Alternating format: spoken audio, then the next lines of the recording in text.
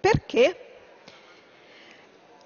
Ma noi non bloccheremo il vostro provvedimento, non bloccheremo queste vostre briciole, pertanto ci asterremo sul provvedimento perché è la prima volta che in questa sede, oltre che a parlare di povertà, si inizia a fare qualcosa.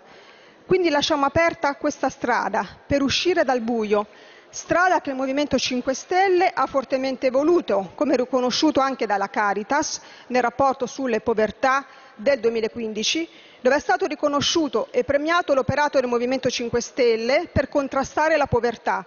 Quindi adesso noi vi sottoponiamo ora alla prova dei fatti. Onorevole Lenzi.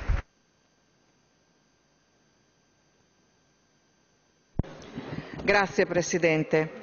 È la prima volta in assoluto che le risorse stanziate per la lotta alla povertà ammontano a un miliardo di euro l'anno, la prima volta.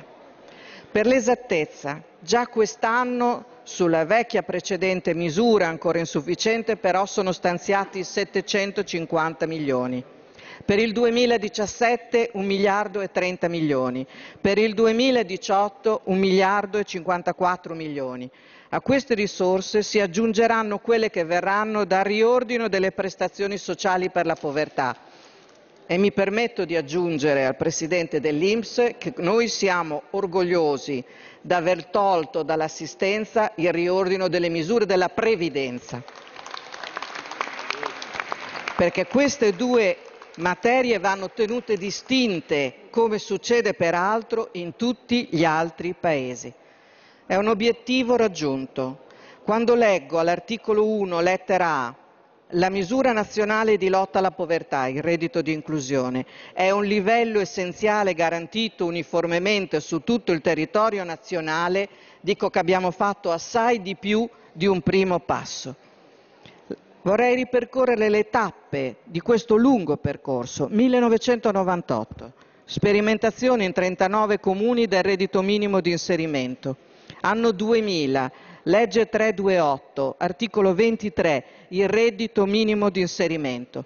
Tutto accantonato e cancellato nel 2007 per essere sostituito dalla social card agli ultra 65 anni, legata per di più allo stigma del girare con la card e mi permetto di ricordare all'onorevole Simonetti che se c'è una misura che ha cancellato i comuni è la social card mentre noi rimettiamo i servizi sociali comunali al centro di questa nostra operazione. Senza dei buoni servizi non si fa inclusione sociale.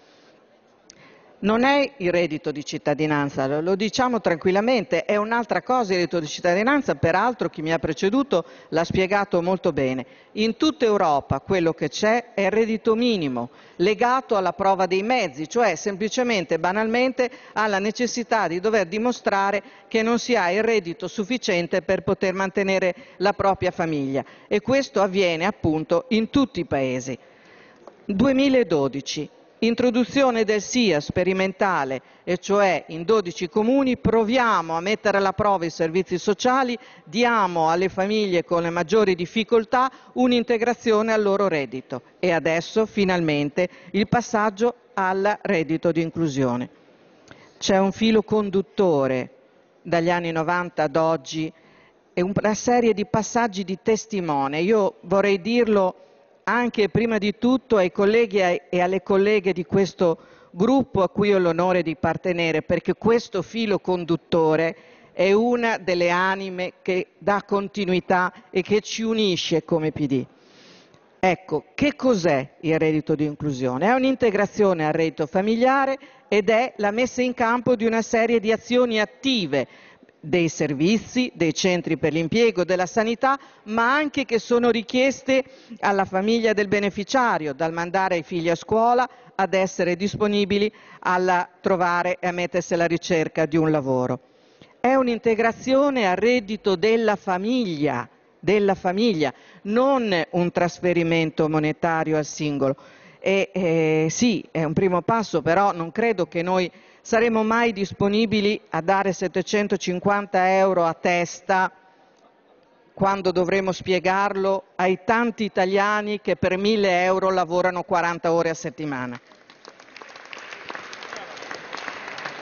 Un reddito familiare e un reddito a sostegno delle famiglie con figli e l'Istat oggi ha confermato che questa è la platea che ha risentito di più della crisi presa in carico dei servizi comunali, possibilmente in un ambito associato, perché lavorando insieme c'è più possibilità di integrazione, in collaborazione con i centri per l'impiego e quando diciamo con la sanità intendiamo la salute mentale, la neuropsichiatria, i servizi per i disabili, eccetera. La scuola, la scuola che è fondamentale per poter uscire dalla condizione di povertà è il terzo settore, voglio qui ricordare che noi siamo debitori tutti di avere anche ascoltato, recepito la grande sollecitazione dal basso venuta dall'Alleanza contro la povertà ed è un bene che il Parlamento risponda positivamente a sollecitazioni che vengono da chi concretamente lavora sul campo. Bene, è un intervento graduale, un primo stanziamento di risorse, dovremo continuare a intervenire ancora. Abbiamo dovuto fare delle scelte, delle scelte di priorità. Da cosa partire? Era difficile fare questa scelta. Noi, su indicazione di una mozione approvata all'unanimità da questo Parlamento, siamo partiti dalle famiglie con figli, dalle famiglie con persone con disabilità grave, dagli ultra cinquantenni che hanno perso lavoro. Allora, Guardiamole insieme le misure che abbiamo fatto in questi ultimi due anni.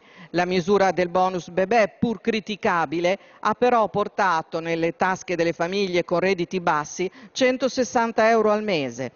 Per le famiglie che hanno tre figli c'è l'assegno per il terzo figlio. Nella legge di stabilità abbiamo previsto 100 milioni per la lotta alla povertà educativa. Se le guardiamo tutte insieme capiamo che noi al primo posto ci siamo dati un grandissimo obiettivo, far uscire dalle condizioni di povertà un milione di bambini in Italia.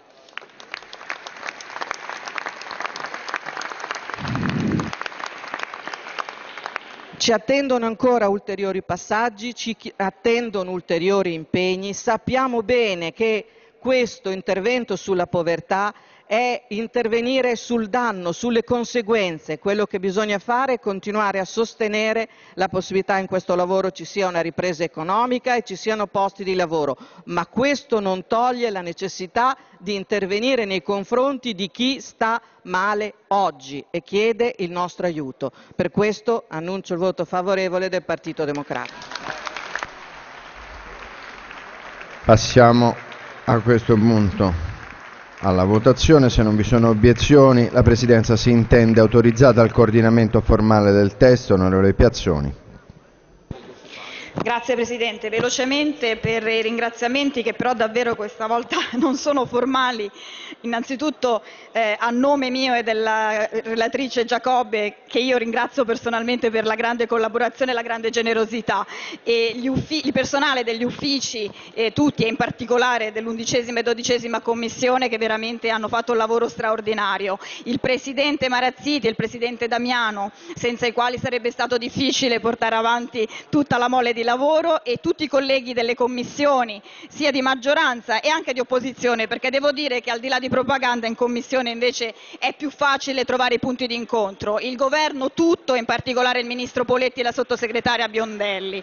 Un secondo solo, anche se so che tutti i colleghi hanno fretta, voglio fare un ringraziamento